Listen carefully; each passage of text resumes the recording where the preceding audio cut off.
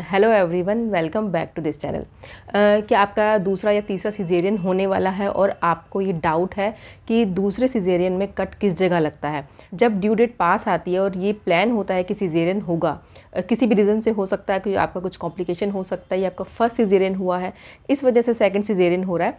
तो जो सबसे पहले जो ये डाउट मन में आता है, एक डर मन में आता है कि दूसरी जगह पे कट कैसे लगेगा, कहाँ लगेगा? ऐसा तो नहीं है कि पेट पे या यूट्रस पे मल्टीपल कट हो जाएँगे। तो ये सब आना बहुत नॉर्मल है, ये सब बातें माइंड में। तो सिजेरियन डिलीवरी में जो फ़र्स्ट सिजेरियन में जो कट आता है प्यूबिक लाइन पे सेकंड सिजेरियन में वहीं सेम जगह ही कट किया जाता है। ये डाउट नॉर्मली सबके माइंड में आता है तो मैंने भी डिलीवरी से पहले ड्यू डेट से दो तीन दिन पहले जो आपका एक विज़िट होता है, मैंने भी अपने डॉक्टर से कंसल्ट किया था कि कट दोबारा से कहाँ लगेगा। और जो स्टिचेज़ अगर जो आएँगे, जैसे पहले अगर स्टिचेज़ आए थे तो वैसे स्टिचेज़ आएँगे क्या होगा, जो भी प्रोसीजर रहता है उस टाइम पर तो दूसरा सीजेरियन हो चाहे तीसरा हो, चौथा हो, जितने भी सीजेरियन हो कट हर जगह उसी जगह पे ही लगता है। क्योंकि इसमें ये होता है कि सिर्फ़ ऊपर तो कट नहीं आना है यूट्रस पे भी कट आना है। तो यूट्रस पे भी अगर मल्टीपल कट आएँगे तो यूट्रस वैसे भी वीक होता जाता है। हर एक सीजेरियन के बाद यूट्रस वीक हो जाता है। क्योंकि ऑब्वियसली बात है उस पर कट आया स्टिचेज़ आए हैं तो थोड़ी वीकनेस तो उसमें आ ही जाती है। जैसे हमारी बॉडी में होता है कि ऑपरेशन से पहले जैसी हमारी बॉडी थी, जितना मर्ज़ी कर लो, वो पहले वाली बात नहीं आती है। तो दूसरा, तीसरा जितना भी सीजेरियन होता है कट वहीं सेम जगह ही लगता है। इसीलिए जैसे नंबर ऑफ़ सीजेरियन बढ़ते हैं कि दूसरा या तीसरा है तो जो रिकवरी टाइम है वो भी थोड़ा सा बढ़ जाता है।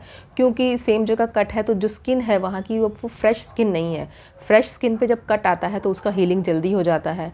सेम यूट्रस के साथ भी है। अब दोबारा से उसी जगह पर जब कट किया जाता है तो वहाँ का जो स्कार टिश्यू जो बनते हैं तो वहाँ की जो स्कार थिकनेस होती है, वो हमारा बाकी स्किन से थोड़ा सा डिफरेंट होता है। स्कार लाइन जो होती है आपकी।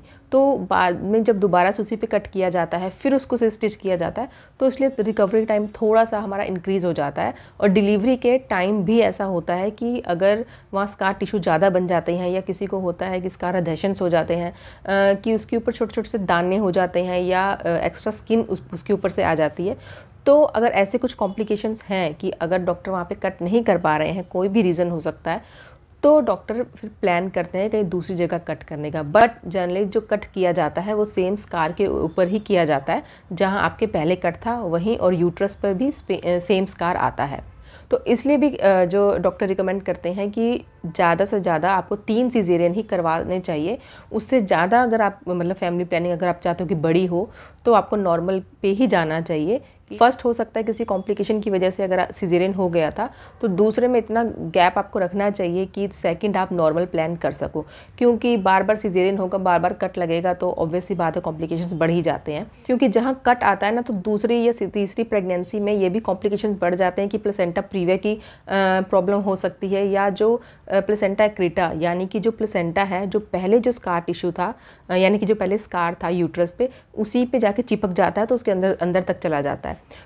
तो इस वजह से भी यूट्रस पे अगर मल्टीपल कट होंगे या दूसरी दूसरे डिलीवरी में दूसरी जगह कहीं कट किया जाएगा तो अगर आप थर्ड प्रेगनेंसी प्लान करना चाहते हो तो उसमें भी कॉम्प्लिकेशंस बढ़ जाते हैं।